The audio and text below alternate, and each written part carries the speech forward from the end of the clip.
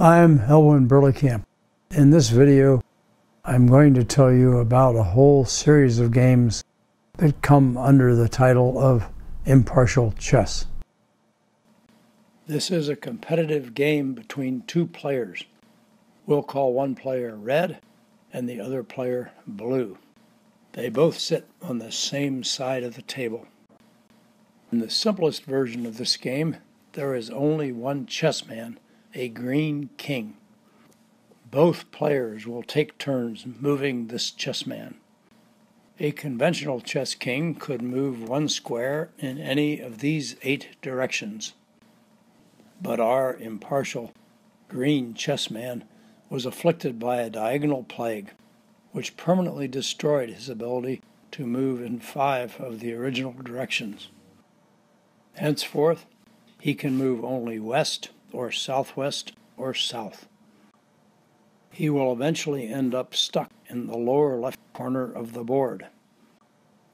The winner of the game will be whichever player made the last move to get him there. In order to record the game, we've labeled the columns of the board with letters A, B, C. We've labeled the rows with the numbers starting from zero. This choice is intentionally different from conventional chess notation, which labels the rows starting from 1. We'll now show a game that was played at the Berkeley Math Circle on April the 6th, 2017. We could have started with a king on any square of the board, but in this particular game, we decided to start the king at location D4. In order to keep track of whose turn is next, the players wore bracelets of their respective colors. Here, red makes the first move from d4 to d3. Blue then moves from d3 to c3. Then red goes to c2. Blue to b2. Red to a2. Then blue to A1, and red to A0. It's now blue's turn, but she is unable to move. So the game is over. Red has won and blue has lost. Let's now do a general analysis of the game of the impartial chess king. This game is simpler if the king is on the bottom row. He can then only crawl westward so we'll call him the little baby king, denoted by the lowercase k. If he's already in the corner location, the game is over. The next player has no legal move, so the previous player has won. We'll label such locations with a circle. What about the next square? From here, the next player can win by moving onto the circle. We'll put a check mark on such a location. Continuing from the next location, there is a legal move, but it is not to a winning destination. Since there is no winning move, this location is a circle. The next location is a check mark, and so forth.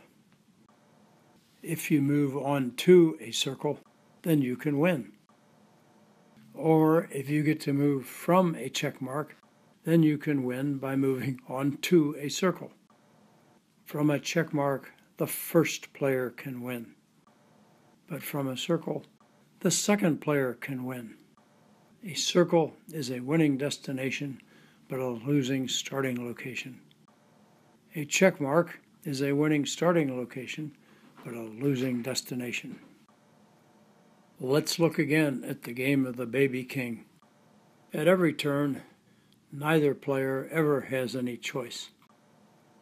When this game is played with daisies, it's called She Loves Me, She Loves Me Not.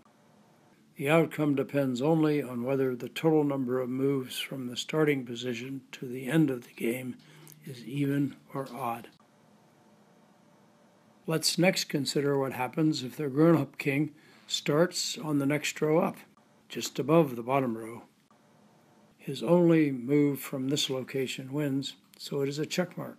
But if he starts one square inward, He now has three legal moves. Two of them lose, but one of them wins. Since a good player can win from this location, it is a checkmark. In fact, first player can win from any location in this row by playing south or southwest as needed to reach a circle on the bottom row. So what about the next row? Since all locations on the row just below it are check marks, any move south or southwest can be defeated. That leaves only westward moves to consider. And like the bottom row, they alternate between circles and check marks. Then moving upwards, the next row is again all check marks. The row above it alternates, etc. In the game we saw earlier, King began at d4. Red missed his opportunity to play to the circle at c4. Instead, he played to d3. Following the convention of traditional chess commentators, I wrote a question mark above this incorrect move. But Blue responded with another questionable move to c3 rather than to the circle at c2.